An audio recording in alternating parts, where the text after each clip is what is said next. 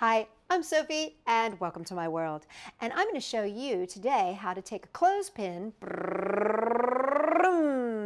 and turn it into an airplane with a complete moving propeller.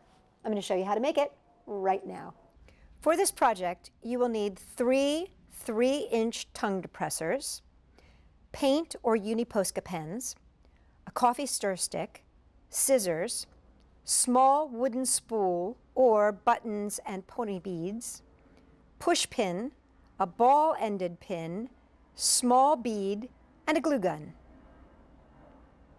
So first thing I'm going to do is paint all my wooden pieces. And I'm going to be using my Uni-Posca pens just because they're so easy to manage and maintain. And I'm going to just cover them with a nice thin layer of paint. So I'm going to do that for all of my different various pieces. The next thing we're going to do is cut our little propeller. And I want the propeller to be about, about an inch and a half, two inches. So I'm just going to use my thumb here as a guide, and I'm just going to cut up and around to round it off, like that. And then I'm going to be using my push pin here and find about where the center is. You could use a ruler here if you wanted. And I'm just going to put this, I can use my spool. Just find the center and put a little hole right through the middle, like that.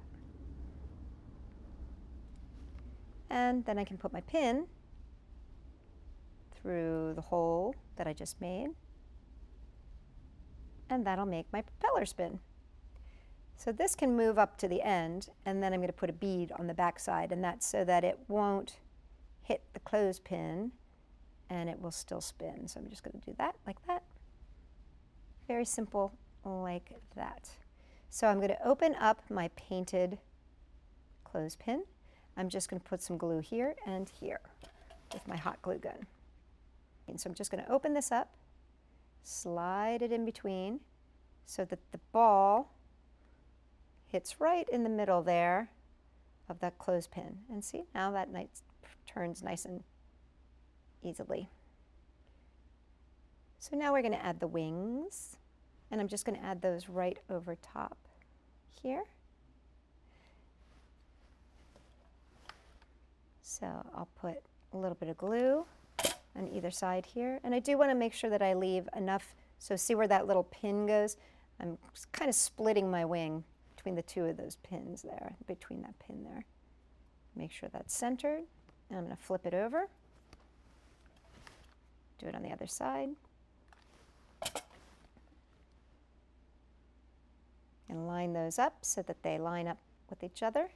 And then I'm just going to place my wheels right in the front of those. Now, if you do not have a spool, you could always use buttons or little pony beads, and I'll show you what those look like in just a second. So that sits nicely. And now I'm just going to make the tail.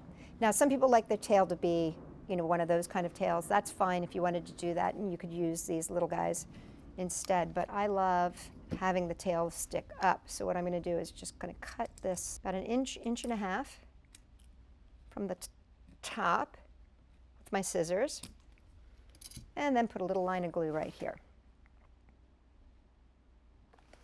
And stand this up so that it makes its little airplane tail. And then you can see that spins and the tail is up. Now if you wanted to too, you could add like a little uh, front window if you wanted to. I just want to show you real close up. This is using buttons and using popsicle sticks because you might not be able to find these. And this is using little pony beads. So see, if you don't have all of these little supplies, get creative because I'm sure you can find something in your craft box that will fill the need. And there you have it. your very own biplane. And remember, if you can't find these pieces, you can always use buttons for the wheels and you can use regular popsicle sticks or paper. For more great ideas, check us out, sophie-world.com.